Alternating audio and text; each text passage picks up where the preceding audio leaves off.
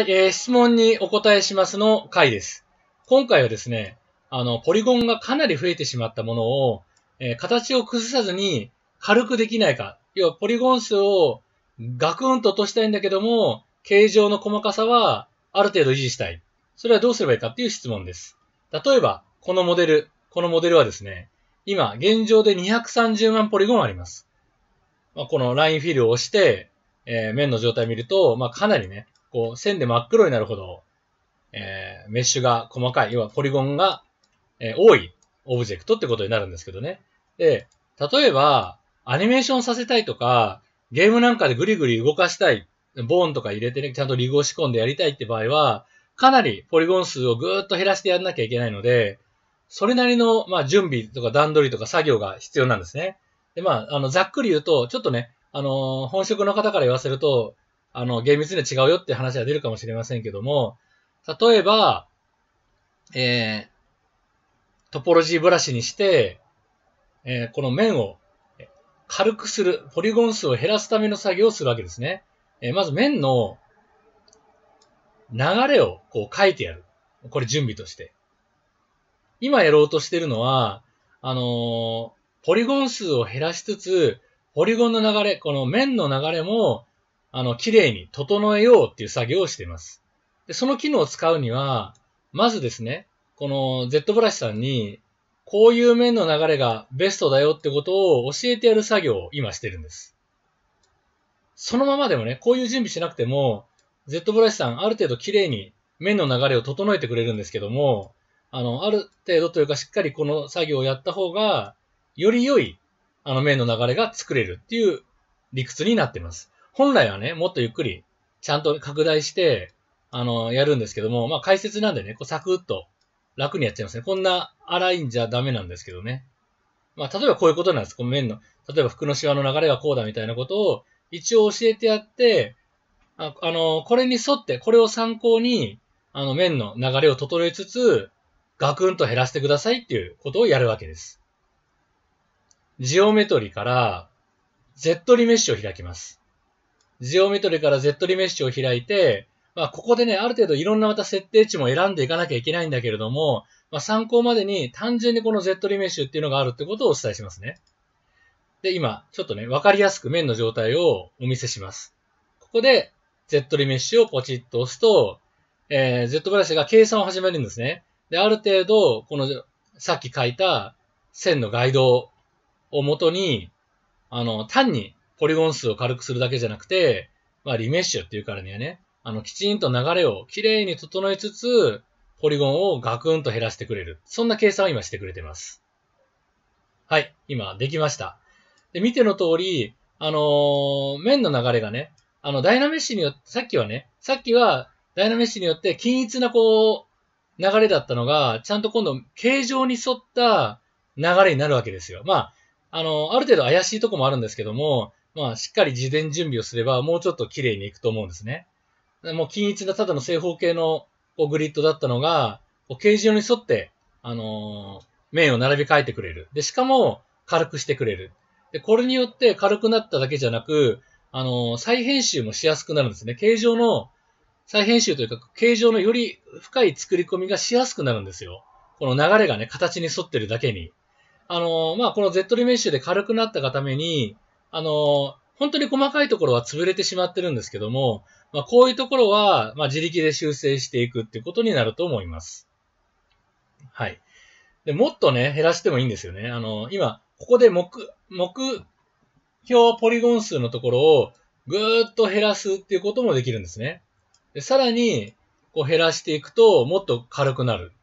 で、ここまでいっちゃうとね、あの、元の形状を修復もできないほどになっちゃうんですけども、まあ軽くなったのは確かだと。で、まあこのぐらいだとね、あの修復しやすいかなと。で、これで230万だったポリゴン数が、えー、3万6千。まあ100分の1とは言わないけども、まあそれぐらいのインパクトはありますよね。で、これが、まあ本格的に、あの突き詰めていく、軽くする、綺麗な、あの、どんなソフトに持ってっても破綻のないアニメーションとかね、動きをさせるための作業。まあ、本来はもっと手を加えていかなきゃいけないんですけどね。あの、ワークフローももうちょっと違ってくるんですね。もっと自力性が自力でやんなきゃいけないことがあるんですけどね。まあ、ざっくり言うと、あの、まあ、トポロジー、面の流れを整えるっていうやり方がまず一つ。で、もう一つは、いや、そこまではできないと。そこまでは求めてない場合、単純に、あの、まあ、形をなるべく崩さずに、楽ちんに、あの、軽くしたいっていう場合は、他の機能があります。Z プラグインの中に、デシメーションマスターっていう機能があって、えー、これで、ほぼ何も考えずに、まあ何も考えずっていうのは大げさなんですけども、楽にポリゴン数をざっくり減らすことができます。はい。ちょっとね、この面の状態を表示させておきますね。で、まず、あのー、やっぱりこれもね、一個だけ簡単な準備がいるんです。あの、プリプロセスっていうのをしなきゃいけない。で、これによって、あのー、まあ、Z ブラシに先にこんな形状だよ、こんな面の状態だよってことを、まあ、あの、教え込むというかね、伝えなきゃいけないんですね。で、今、サブツールが分かれてなくて1個なので、ここでは、まあ、現在のサブツールを、すべてをっていう選ぶ、どっちをチョイスすればいいかというと、まあ、どっちでもいいんですね。1個しかないからサブツールに。すべてでもね、現在のでも同じことなんで、じゃあ、すべてをプリプロセスで、この、えー、サブツールにあるツールを、まず、えー、準備、準備の計算をさせる。今、Z ブラシさんが、あのー、プロプロセスって言いましたかね。それを始めてるんですね。形状を、まず読み込んでるというか、えー、認識を始めてるというかね。で、これが終わると、あのー、自分でどれだけ軽くするかっていう設定値を選んで、えー、ポリゴン数を軽くすることができます。と話しているうちに計算が終わりました。で、また Z プラグインから、もうちょっとですね。で、で Z プラグインから、えー、今、これは終わったので、プロ、プリプロセスは終わったので、えー、いよいよデシメーションをするわけですね。デシメートをするわけですね。で、まあこれもどっちでもいいんだよね。一つしかないので、サブツールに。で、例えば、えー、10%とかにして、正確にじゃあ10にして、すべてをデシメート。そうすると、はい、軽くなりましたよね。あのー、こんぐらい細かかったのが、今、こうなったと。ちょっとわかりますかね。で、なおかついいのは、あの、形状がね、細かくあってほしい部分には、メッシュの細かさが残ってるんですよ。こう、黒くなってますよね。黒くて、メッシュがこう密集してるから黒く見えるんですけども、で、あんまりメッシュが、要はポリゴンが細かくなくていい場所は、平坦な、平坦性が高い場所は、あの、結構ポリゴンを減らしてくれてるんですね。なので、非常に優秀ですよね。細かいところは、しっかり面を残し、いらないところは、あの、飛ばしてくれるっていう機能なんですね。で、これがね、もうちょっと減ら、で、今10%にしたんですけど、10%くらいだと、まあ、なんとかね、形状がね、そのままだなって感じしますよね。あのー、乱暴に言ってしまえば。これがする前。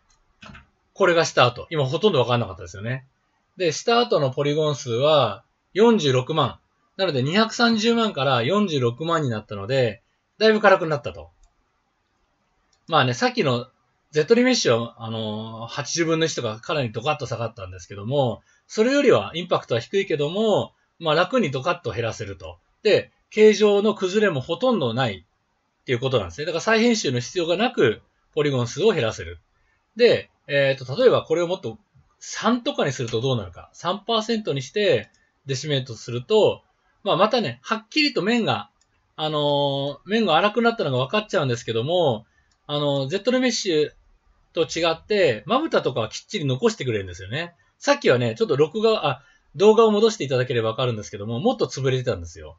で、これはね、あのー、形状の凹凸は必死に残そうとしてくれるんですね。で、今これが、えー、14万か。14万人。まあ、だから相当減りましたよね。で、これでね、他のソフトに持ってって、あのー、まあ、スムージングとかかかった状態であれば、あんまりこうバレないかな、そんなにひどい感じじゃないかなと思います。だから230万を持っていくよりは、当然14万を持ってった方がいいですよね。で例えばもっとね、えっ、ー、と、0.5とかにするとどうなるか。はい。もうかなり、かなりになりましたよね。これが2万5千。まあ、ただしね、やっぱり、さっき、あのー、ゼトリメッシュと違って、まあ、な、なんとかしてまぶたを残そうみたいなね。あの、掘ってあるところは掘ってあるものとして残そうという気概が感じられますね。まあ、そういう特性があるんです。まあ、これはこれでね、木彫りの熊みたいで面白いかなと思うんですけども、まあ、10%ぐらいであれば、あのー、ほぼ元の状態のままかなという感じはします。はい、これが10%ですね。で、これがね、あの、無印での面の、を軽く、まあ、面を減らすやり方ですね。形状をあまり崩さずに。二つの方法を示しました。示しました。まあ、本来はね、もうちょっと別の、あの、ワークフローがあるんですけども、まあ、今日は簡単に示しました。で、次に、あの、コアではどうなのか。Z ブラシコアでは、あの、同じようなことはできるのか。で、今、Z ブラシコアに切り替えました。で、さすがに、あのー、ポリゴンの流れをきれいに変えつつみたいな機能はありません。なのでね、あのー、まあ、ゲームの人とか、バリバリアニメーションに持ってきたいって人には、ちょっとコアはその辺だけ非力なとこがあるんですけども、まあ、それはもう値段を考えれば仕方ないかなと思います。なのでね、あの、ガイド線を引いて、Z リメッシャーをかけるってことはできません。ただし、デシメートっぽいことはできます。あの、実はですね、このファイルの中に、3D プリントに最適っていうボタンがあるんですよ。これは、あの、あ、3D プリント用のボタンかなって思いがちなんですけども、結局は無印における、まあ、デシメートと若干似てるんですね。だから、あの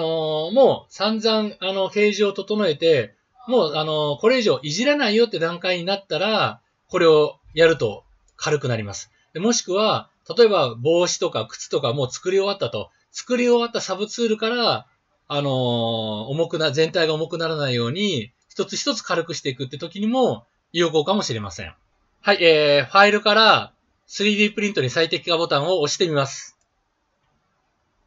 で、今、計算が開始されました。まあ、デシメートと結構似てる結果が得られると思います。あのー、無印のね、要は高い版の Z ブラシと違って、さすがにパーセンテージをいじったりね、こう軽くするパーセンテージをいじったりはできません。まあ、こう、結果を受け入れるしかないんですけども、それでもね、かなり軽くしてくれるので、軽くするって時にも、あの、有効ですね。まあ、3D プリントをする時にも有効ですし、あの、軽くするっていう用途としてもいいかなと思います。今、計算中です。はい、計算が終わりました。さっきのデシメートと結果が似てますよね。なんか、それよりも、あのー、細かいところは細かく、細かくないところは面を減らすっていう、こう、コントラストがまより強いかな、みたいな印象を受けるんですけどね。まあ、設定の違いだと思うんですけどね、あれ、あの、あっちはあっちで。ただこのコアでも、あの、かなり細かく、あの、かなり細かいものでも、あの、軽くしてくれるんですね。Z ブラシコアでも。例えば230万だったものが、まあ20万。まあ大体ね、20万ぐらいになるんですよ。だからまあ10分の1弱ぐらいですよね。ただまあ、やっぱりね、数十万ってクラスにはなっちゃうんですけども、まあ230万よりはいいですよね。なので、あの、コアしか持ってなくても、この、あのー、3D プリントに最適化ボタンで、えー、モデルをね、軽くすることができます。ただし、あの、三角ポリゴンって言って、もうあのー、形状の加工とかしにくいモデルになってしまうので、まあ、あの、乱暴に言えばですよ。あの、再編集しにくいデータになるので、本当にこれをやるときは、最後の最後あ、あるいはもう完成したパーツからやっていくってことですね。はい。で、これでね、もう、じゃあ、やっぱり再編集したいって言ってダイナメッシュ、面の貼り直しとかすると、結局はね、あの、面がまた細かい状態に戻ってしまうので、あの、やはり、完成後のモデルに有効かなと思います。なので、えー、さすがに、あの、無印の方ではいろんな選択肢、軽くする選択肢がある。苦労して、本当に、あのー、もう100分の1ぐらいにする、できる方法、面の流れも綺麗に整える方法が用意されてる。で、コアはコアで、あの、無印のデシメートみたいに、こう、サクッと軽くする機能がある。そんな感じですね。あの、試してみてください。今回は以上です。